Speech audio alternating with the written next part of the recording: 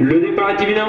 Le départ est validé donc pour cette première course avec eh bien, tout de suite le numéro 13 Suprême du Mafra qui s'est emparé du commandement. Cosper Perus vient en seconde position. Gemina est à l'extérieur comme ça. L'art de la galante des cas.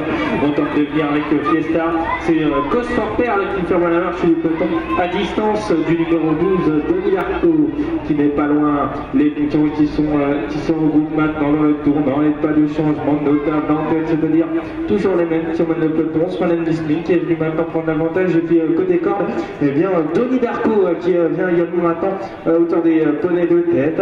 Alors qu'en pleine piste, on retrouve Cosfor Perus également qui tente de progresser. Fiesta n'est pas loin du tout et tente de se rapprocher également des animateurs. On va vite également dans cette épreuve avec Donny Darko qui emmène toujours la peloton avec un très léger avantage que Tyler est en seconde position, Cause Fort Perus et Valentin Leclerc veille au grain en deux troisième position et tente de se rapprocher alors qu'on n'est pas loin.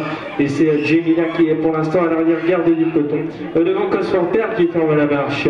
Les concurrents qui... Euh, ah. Attention, il y a un poney en liberté sur la piste. Les concurrents qui vont maintenant aborder le tournant et toujours les mêmes aux avant-postes, c'est-à-dire Denis Lerco qui dans la dernière ligne droite va tout donner l'attaquer euh, côté corde à l'extérieur, bien Cosfor Perus qui n'est pas loin et qui euh, va tenter, mais euh, rien n'y fait. C'est Denis Lerco qui repart de plus belle. Denis Lerco qui repart de plus belle. Irene Vistabita qui vient le mieux mieux qu'on n'a pas vu de la course. Denis Darko, Irene Vistabita, Cosfor Perus, les abords du poteau. Denis Darko qui fait parler la classe et qui s'impose de route en bout. Irene Vistabita est deuxième. Cosfor Perus est troisième. Là.